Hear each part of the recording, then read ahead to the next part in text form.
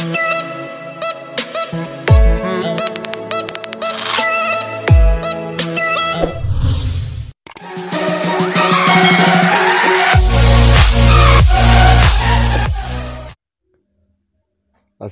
আলাইকুম ওরহমতুল্লাহি ওবরাকাতু তো বন্ধুরা, কেমন আছেন সবাই? আশা করি অনেক অনেক ভালো আছেন এবং ভালো থাকবেন, এই কামনাই করি। তো বন্ধুরা, প্রতিদিনের ন্যায় আজকেও আমি আপনাদের সামনে হাজির হয়েছি আমার নিয়মিত আয়োজন নিয়ে। তো গত পর্বে যে পর্যন্ত আমি দেখিয়েছিলাম যে কীভাবে পাইপ দিয়ে টিন সেট ঘর ওয়ারিং করে, তো বাকি অংশ দেখানোর কথা ছিল আমি সেই বাকি অংশ নিয়ে আমি আপনাদের সামনে হাজির হয়েছি। আজকে দেখাবো বাকি অংশ। কীভাবে একটি ঘর পূর্ণাঙ্গ ওয়ারিং করা হয়, পূর্ণাঙ্গ ধারণা? তো বন্ধুরা, দেখছেন এখানে ফাইভ দিয়ে তার নিচে নামানো হয়েছে একটি ভ্যান ব্যবহার করে এলবো এবং এখানে একটি লাইট পয়েন্ট অর্থাৎ হোল্ডার হোল্ডার থাকবে আমি বলেছিলাম সেজন্য এখানে হোল্ডারের মাপে আমি ফাইভ রেখেছি। তো এখন এখানে তার রাখব আমরা মাপ দিয়ে কেটে। তো যাই হোক বন্ধুরা, কাজ তো করব, দেখবেন, এবং শেষ পর্যন্ত থাকবেন ইনশাল্লাহ তো তার আগে আমি, আমার একটা ভূমিকা। যারা আমার চ্যানেলে এখনও নতুন নতুন আসছেন, এই ভিডিও নতুন দেখছেন, তারা এখনই চ্যানেলটি সাবস্ক্রাইব করে নিন। আর যারা অলরেডি করেছেন, তাদেরকে অসংখ্য ধন্যবাদ। আর অবশ্যই পাশে থাকা বেল আইকনটি ক্লিক করে দিবেন যাতে করে নতুন ভিডিও আপলোড করার সাথে সাথে আপনার মোবাইলে পৌঁছে যায়। তো যাই হোক বন্ধুরা লাইট এখানে লাইট পয়েন্টের জন্য একটি লাল তার one point zero R M লাল তার আমি মাপ দিয়ে কেটেছি এবং one point five R M যেই তারটি আছে, নিউট্রল অর্থাৎ কালো তারটি। ওই তারটি থেকে আমি একটি তার কমন করে নিলাম, কালো তার। কমন করে নেওয়ার পরে এখন আমরা তারটি সুইচ বোর্ডে সুইচ বোর্ডে নামানোর জন্যে চেষ্টা করতেছি কীভাবে নামানে, নামানো হয় সুন্দর হবে আর কি, নামালে ভালো হবে। সেই দিক থেকে কাজ করার চেষ্টা করতেছি। তো এখানে পাইপটা সোজা বরাবর নামাতে পারলে স্ট্রেট নামাতে পারলে সুন্দর হতো, সুন্দর দেখা যেত। যেহেতু কাজ এখানে একটু ঝামেলা এই কারণে এখানে এল করতে হচ্ছে। আর সব দিকেই থাকে না, ওই কাঠ থাকে না, টিনের উপর দিয়ে তো আর পাইপ নামানো যায় না। এই কারণে একটু এল করে নিতে হচ্ছে। তো যাই হোক, এখানে আমার মতো করে আমি নিচ্ছি। যেভাবে সুন্দর হয় আর কি।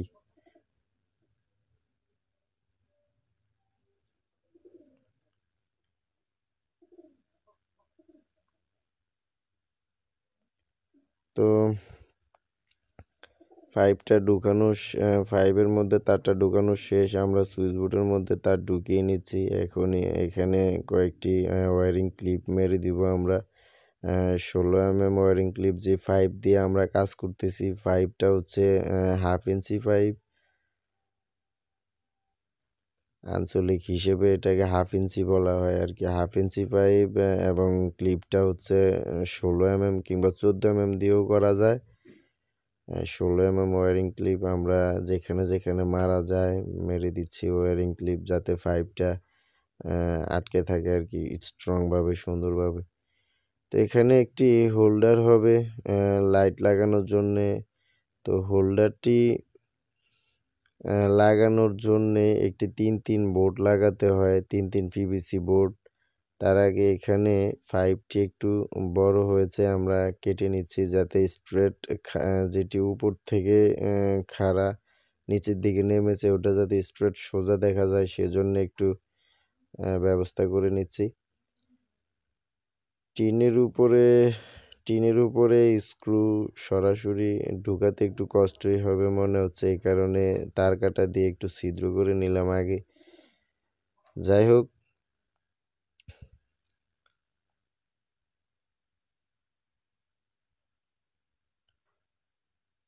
তিন তিন বোর্ডটা সুন্দর করে সেন্টার করে বসানোর মিডিল সেন্টার করে বসানোর জন্য একটু কেটে নিচ্ছি। কেটে নিলেই সুন্দরভাবে বসবে। তো যাই হোক, কেটে নেওয়া হলো। এখন আমরা স্ক্রু দিয়ে এটা প্রথমে আটকে নেব। তার উপরে এটার মধ্যে একটি আমরা হোল্ডার বসাবো স্ক্রু দিয়ে।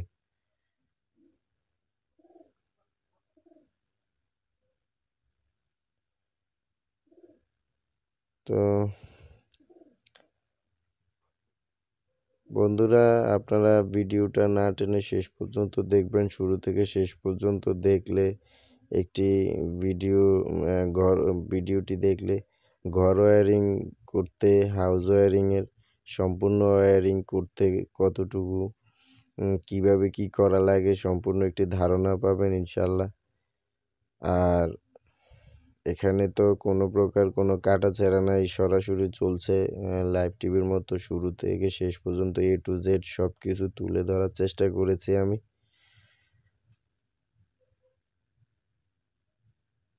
তো যাই হোক হোল্ডার লাগাচ্ছি। আমরা হোল্ডারের মধ্যে দুটি টার্মিনাল এটা তো অনেকেই জানেন, এটা খুব তেমন কিছু না হোল্ডারের মধ্যে দুটি টার্মিনাল থাকে। দুটি টার্মিনালে একটি লাল তার আর একটি কালো তার, যে কোনো একটি টার্মিনালে যে কোনো একটি তার লাগালেই চলে। কানেকশন, কালেকশন সরি কানেকশন করে নিলেই চলে, কোনো সমস্যা নাই। তবে ফেস থ্রেড বাল্বের ব্যাপারে একটু নিউট্রাল ফেজ দেখে লাগালে ভালো হয় আর কি। তো যাই হোক এখানে কালেকশন করার পরে শেষ। এখন হোল্ডারটি আমরা স্ক্রু দিয়ে লাগিয়ে নিলাম। হোল্ডারের কাজ কমপ্লিট ফাইভ তার টানা শেষ। এখন আমাদের সুইচ বোর্ডের কাজটা বাকি। এই সুইচ বোর্ড কালেকশনের মধ্য দিয়ে আমাদের ভিডিও সমাপ্ত হবে। একটি পূর্ণাঙ্গ পূর্ণাঙ্গ ওয়ারিং আপনারা দেখতে পেয়েছেন, পাবেন। তো এখানে আরেকটি হোল্ডার সবার প্রথমে যেই তারটা আমরা রেখেছিলাম বাত, বাল্বের জন্যে ওই হোল্ডারটি লাগানো বাকি ছিল, হোল্ডারটি আমরা লাগিয়ে নেই। এখানেও বলার আর কি আছে সেম টু সেম আগে যে হোল্ডারটি লাগিয়েছিলাম সেম ব্যাপারে তিন তিন বোর্ড পিভিসি বোর্ডটা আগে স্ক্রু দিয়ে বসিয়ে নিতে হবে। তারপরেই আমরা তিন তিন বোর্ডের উপরে হোল্ডারটা কানেকশন করব হোল্ডারের দুটি টার্মিনালে দুটি তার লাগিয়ে নিব, এরপরে হোল্ডারটি বসিয়ে দিব তিন তিন বোর্ডের উপরে। থ্রি ফোর ইঞ্চি স্ক্রু কিংবা এক ইঞ্চি স্ক্রু ব্যবহার করব আমরা স্টার স্ক্রু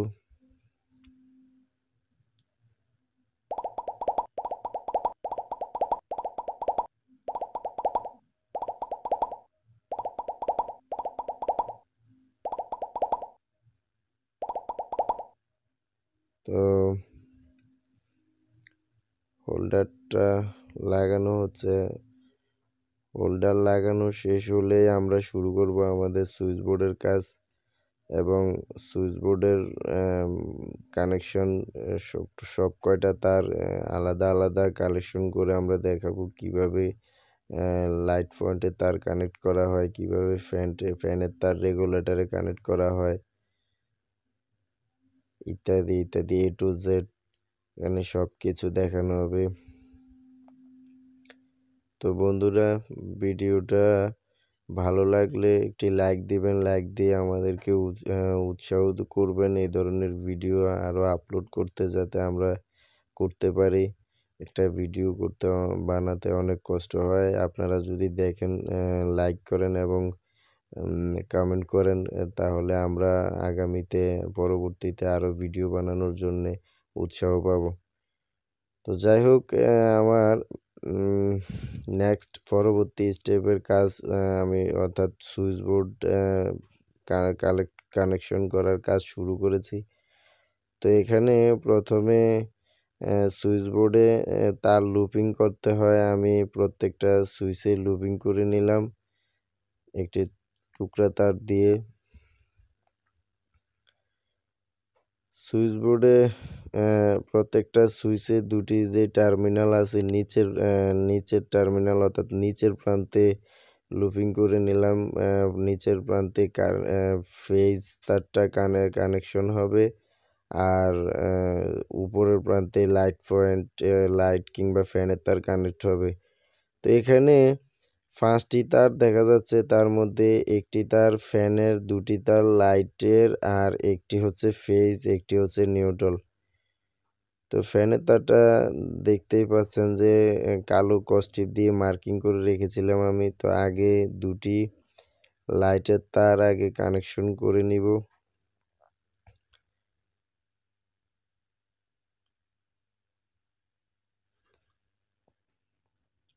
তো প্রথম লাইটের তারটা কানেকশন করা হলো। এখন আমরা দ্বিতীয় যে আরেকটি লাইটের তার বাকি আছে, অবশিষ্ট আরেকটি, তার ওটি আমরা কানেকশন করে নিব এখন। তো দুটি তার কানেকশন করা হয়ে গেলে আমাদের ফার্স্টটি তারের মধ্যে দুটি তার শেষ কানেকশন অর্থাৎ দ্বিতীয় লাইটের তার টি কানেকশন করার মধ্যে দিয়ে আমাদের পাঁচটি তারের থেকে দুটি তারের, দুটি তার শেষ হয়ে গেল। ঝামেলা আর থাকে হলো তিনটি তার তার মধ্যে একটি ফ্যানের আর দুটি হচ্ছে একটি ফেজ, একটি নিউট্রাল। তো আমরা ইনসুলেশন ছাড়িয়ে নেই, একটু তারের ফেজ এবং নিউট্রালের।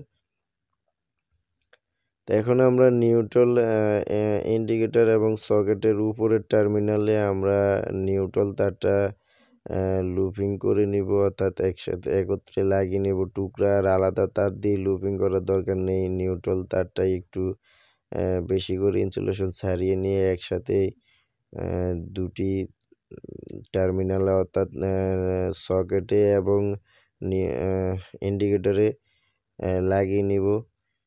এতে করে এক কাজ, দুই কাজ হয়ে যাবে। তো, তার ঢুকাচ্ছি, এখন টাইট দিলে টাইট দিয়ে দিতে হবে ভালো মতো যাতে কোনো প্রকার লুজ কানেকশন না থাকে।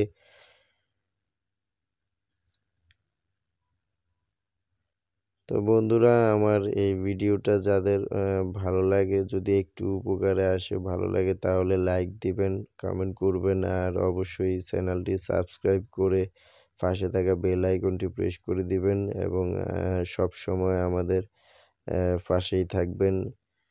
ইনশাল্লাহ ভালো ভালো ভিডিও দিতে পারি যাতে সেজন্য আমাদের জন্য দোয়া করবেন। আর নবীন ইলেকট্রিশিয়ান যারা আছেন, তারা অবশ্যই ভিডিওগুলো দেখে কমেন্ট করবেন। যদি কোনো কিছু বুঝতে সমস্যা হয়, তাহলে অবশ্যই পরবর্তী ভিডিওতে তা সমাধান করার চেষ্টা করব ইনশাল্লাহ। তো যাই হোক, আমি ফেস কানেকশন করলাম। নিউট্রাল কানেকশন করলাম। এখন ফ্যানের তারটা রেগুলেটরের সাথে, রেগুলেটরের যে কোনো একটি তারের সাথে এখন জয়েন করে দিচ্ছি। ভালো মতো ফ্লাসিং করব, করে দিচ্ছি, এরপর টেপিং করব। অবশিষ্ট রেগুলেটরের যে আরেকটি তার থাকে ওটি ফ্যান ওই রেগুলেটরের আরেকটি তার সুইচ। যে একটা বাকি সুইচ আছে, ওই সুইচের সাথে সুইচের উপরের টার্মিনালে আমরা সংযোগ করে দিব।